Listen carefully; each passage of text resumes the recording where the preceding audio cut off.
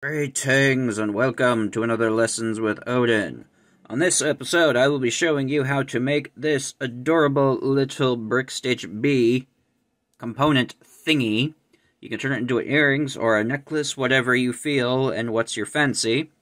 These are using the components I got from BeeBeeCraft. I did a review on them, an unboxing from stuff that they sent me, as well as a UV resin video on this stuff. So if you want to check that out, feel free but yes, in this case, I will be showing you how to make this fantastical piece. So for this project, you will need a honeycomb bezel shaped thingy. This one is earring findings that I got on BeeBeeCraft. Anything else could work as well, but if you want to follow along, get this specific piece, I'll have a link down below. Some sort of focal dangly part I got the little honeycomb pieces and I glued a bee on it with some UV resin. You can also fill the honeycombs with UV resin like I did in my last video. But that is what I am working with. Also some shiny, tiny little rondelles. I think these are 1 by 2 millimeters. You don't necessarily have to have something in this shape, but you'll want to stick to something not too larger than a size 11 seed bead. Speaking of, you need two colors of size 11 seed beads, one for your innards and one for your outards. So I've got this lovely mustardy color to look like the inside of a honeycomb, and I got this on the outside, just because I felt like it. You'll need some dangly parts to go on the bottom. I've got some honey-colored drops and a bee. I don't know if I'm going to use all of these, but this is what I got. And of course, your needle and thread. I think this is a size 12. I don't know. I found it in an unmarked jar and I'm going to use it. But you'll want to use size 12. And I'm using a 1G. I have this honey-colored one in my stash, so that worked out quite nicely. Very simple. Not a lot of stuff to work with. And yeah, with all that being said, let us get started. Now, before I get to anything, I'm going to futz with my component because I don't want earrings, I want a pendant. So, I'm going to take some pliers, grab up the loop, fold it up 90 degrees, and twist it around 90 degrees. Then, with the opposite side, I'm going to form a little bit of a loop. There's not a lot to work with, so I need to really adjust how I do gonna hook it around through the little strand and then just kind of keep going with the round nose until I got it stuck in place like that. And now that's ready to work with. We are going to be primarily using the brick stitch in order to get our base going. So so we are going to start by adding on our anchoring stitches. Not gonna lie this is a real pain in the ass. So so I'm going to start off by threading on two outer beads. Pull that down. I'm going to lay my thread on top of the component, like so, pass underneath the component, and then pass up through the second bead. Keep a tight hold on your tail while you're doing this. Then you will have your start. So I'm coming out of the second bead. I'm going to pass back around through the first bead. I'm going to keep my working thread over the component. And then from here, we're going to tie an overhand knot with our tail and our working thread. Then from there, I'm going to go over the component and pass my needle through the second bead. So now we have our base and a start of our brick stitch. So I'm going to add one bead, lay my thread over the bead, go under through the component and then stick your needle through the second bead. I'm going to then lay my thread over the component, bring my needle around underneath the component, pick up that third bead. Pull it tight and smoosh it together, and that will be the third stitch. So, you will also notice I have clipped my tail. It's going to be very irritating, so make sure you have your knot secured, maybe put a little glue on there, get rid of it. It's not going to be fun. So, this time I'm going to add bead number 4, pull it down, lay my thread over the component, go underneath, and pass up through the bead. Pull tight, and there's your fourth stitch. Once more, bead number five, pull it all the way down, lay your thread on top of the component, bring your needle underneath,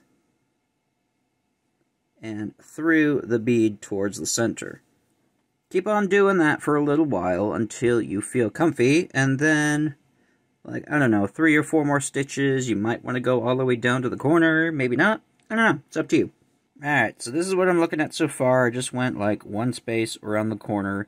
When you go around, the corners aren't going to really impact you that much. Um, it will in the next row, so we'll go over that later. But, from here, I'm just going to do the same exact step, however, I'm going to thread on one of my shinies. Add on my shiny, pull it all the way down, lay my thread on top of the component, pull my needle underneath the component, then pass back up through the shiny. And that is how you are going to fill your entire base. So, Anywhere that you want the honey drips to appear, you add your sparkly bits.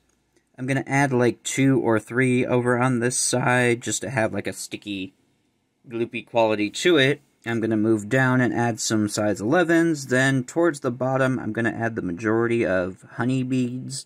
I'm going to go up and around all the way over to the center here. I'm going to use the majority of outered beads, maybe one more little dollop of honey up there. I don't know go with the flow and see what happens. But in any case, complete all the way around in your colors until you reach the center point back up. So that is what I ended up with in my colors. I've got a little splotch here, majority of my bottom, and I have a little tiny splotch up there. So, once you go all the way around, you're going to join the bits together. You're going to take that loose one over there, you're simply gonna, your thread's coming towards the inside, you are just going to pass through the first bead you added, back through the last bead, and just kind of do that a couple times to secure it in place. Now we are going to swap our outards and use our innards. So, I'm going to add two innard beads in the ring and start our next row of brick stitch. So, I'm going to pass that all the way down. My thread is coming out of a bead at the moment. What I want to do is progress by going through a thread that's in between two beads instead of a bead itself. Pass that down, and you'll kind of see we have the start of our brick stitch going. So, I'm going to pass up through that second bead, pull tight. To continue on, I'm going to add one more inner bead. Go to the next thread bridge, pass through, go up, the next bead, and so forth. You're going to keep going all the way down until you reach a corner, then we got to do something in order to make it nice. Alright, so when you are at your corner, you're going to kind of see that there's a thread bridge mushed in between there that's a little hard to get to. We're going to completely skip that. So, as soon as I add my next bead, I'm going to skip over this one, and then pass through the next one over, so that the beads will fit in nicer and it also helps keep the structure of the piece because you can kind of see the ends are kind of flopping around. Skipping these corners will tighten it up and make it a little easier to work with. Then you're going to continue all the way around in this manner, adding to your pattern. So what that means is you're going to add, alternate between your innards and your colored honey beads, and pick a continuation of your pattern. So kind of think about how honey collects and gravity works. So with this one, you might, might want to add a bead until you reach there, and then add a couple of the honey beads down there, continue on your pattern. When you reach the next chunk, you can either start further up or go further down, depending on how much honey you want to use. Go all the way down and up, maybe start or end a little further down Continue with your innard beads, maybe add another one either to the side or the front or completely ignore it. And continue on, then you're going to join your innard pieces just like you did with the previous row. So keep on doing that and have fun with your creative process. Alright, so that is what your piece should look like. I am going to now add my big old dangly part in the center. So I'm going to channel down and kind of pick a thread bridge that is sort of kind of in the center. And I'm going to just pick it up. Actually, I want this one instead. So I'm just going to pick it up, thread on my dangly part, make, and then go back and pick up that same thread bridge. So that when I pull it tight, it dangles in the center. Now you're going to just keep repeating that, going through the loop, picking up the thread bridge where you started from, and wrap around until you feel this is nice and secure. It'd probably take a few rounds, but keep at it. And that's what we've got. Keep in mind that this is going to loosen a little bit over time with friction, so the tighter that you put it on, the longer it will last. Now, I'm going to do something a little funky over here. So from there, I'm just going to pick up the bead next over and begin to travel where I want to be. Eh, B. So I'm going to kind of push the charm aside because it's going to annoy me. So traveling, I'm just going to go up and down through the innermost round until I reach where I want. And this is where I want to be. So once again, in that bead there, I'm just going to pick up the thread bridge. I'm going to add a dangly part and a honey bead and pass that through. I am going to skip over the honeybee to pass back up through the dangly part. And just like you did with the charm, you're going to pass back through and around that thread bridge that you stuck this at. And just keep going at it until it's nice and secure until you want it. Now, you can always just stop right there, but why would you do that? Let's make this excessive. So in order to make this look a bit more gooey, I'm going to add a third and maybe even a fourth row but I'm only going to add it right on the center where I have all of my other honey beads. You could always jump to where you want to go and travel through the beads, but why would you want to do that? That sounds like a tedious amount of work. So I simply just started a new thread where I wanted it to be, and I'm going to do exactly like I did when I started the other two rows. I'm going to move down, fill most of this. I might skip a little a little parts here and there because of the way and how close this charm is. So you would skip by traveling up and down through beads just like you did here. But keep going as far as you want to go, and don't forget to mind your corners, skip over threads as you need. So when you add your new rows, you're probably going to be starting a bunch of different times, essentially, just to make it nice, realistic, and flowy. As you can see, I've got one chunk that I started. I skipped by traveling up and down. I started a new row and moved around until I was happy with it. Then I traveled and backed around until I'm coming out of a bead that I wanted to be for the fourth row. Now, when you're starting every chunk, you're going to be adding two beads instead of one.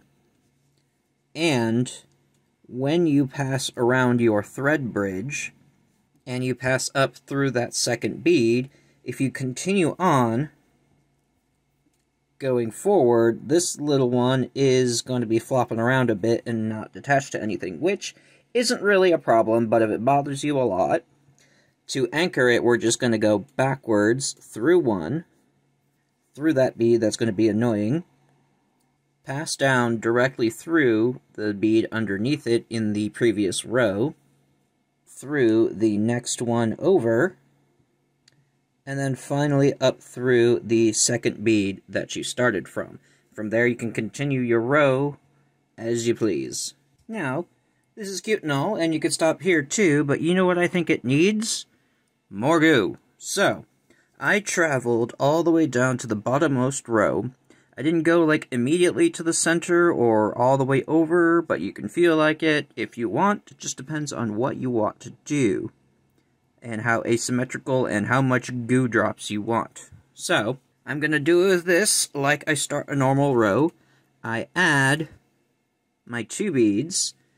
My thread is currently over the metal finding. I'm going to pull it over and around, pass back through the bead that I started from. Now for these rows, we're pretty much going to disregard the fact that there is a component here, and we're just going to attach our pieces from the bottom row of beads. From here, I want to anchor my first bead, so I'm just going to go backwards through the previous bead over, pass up through the first bead, pull through, go down the second bead, down through the bead across the way immediately underneath it, go forward through that bead in that same row, like so, then go up through the second bead on the row across the way, and we can continue on our path. So we will add one bead, go down through the next bead over on the row across the way, go up through the next bead along the road, and then pick up the previous bead, and keep going like that. Adding on one bead, skip forward to the next bead over, go back up through the previous bead, and pick up the bead you added. Add on another bead, go forward, pass up, go through the last bead you added, adding on another bead, go forward, pass back, then through your last bead. So, so keep going on until you have the length that you want, also taking into consideration how drippy and stuff you want it, and then from there you can add rows based on the brick stitch keeping in mind how gravity flows and how drippy and gooey you want it. Keep in mind when you reach corners on this side of the finding, you don't need to skip over the corners. You can continue on and use each individual thread bridge. Alright, so once you have enough goo, you're going to add some dangly parts. So, thread is coming out of a point of one of my goo globs, and I'm going to add some beads. Just like our fringy bit up here, I'm going to add an indeterminate number of honey beads. You can also put seed beads there instead if you feel like. You're going to put one dangly part and then one of another honey bead. Skip over that honey bead, pass back through every single one of these beads once more. Then I'm going to skip over to the next bead and pull through. Going to pass back up through the previous bead and start reinforcing this once more. Once you've done that, you can travel to another section, add another dangly part, and do whatever.